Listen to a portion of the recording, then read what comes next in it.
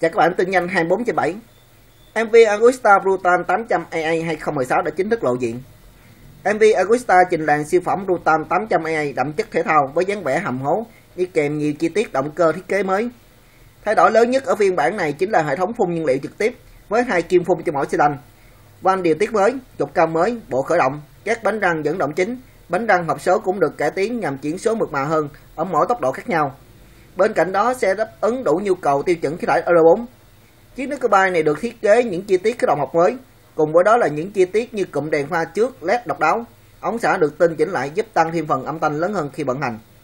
Bên cạnh đó yên xe cũng được tinh chỉnh lại với bộ mâm hợp kim 6 chấu thể thao màu đen. MB Augusta Fusion 800 AA không có gì thay đổi với bộ khung bằng thép dạng ống hình mắt cáo.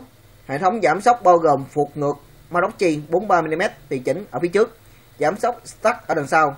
Lực hãm xe bắt nguồn từ phanh đĩa Rebo 320mm ở trước và đơn là 220mm ở sau.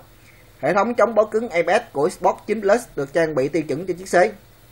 Xe cũng đi kèm với hệ thống điện tử MVI CS thế hệ thứ hai. Hệ thống bao gồm điều chỉnh bấm ga ba chế độ lái khác nhau Sport, Non và Ren.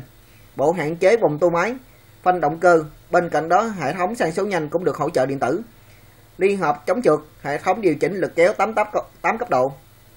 MV Augusta Booston 800 AA sử dụng động cơ 3 xi dung tích 798 phân khối như ở phiên bản cũ, nhờ đó động cơ sinh ra công suất 140 mã lực tại 13.000 vòng phút, mô men sáng cực đại 86 Newton 86 Nm tại 10.000 vòng phút.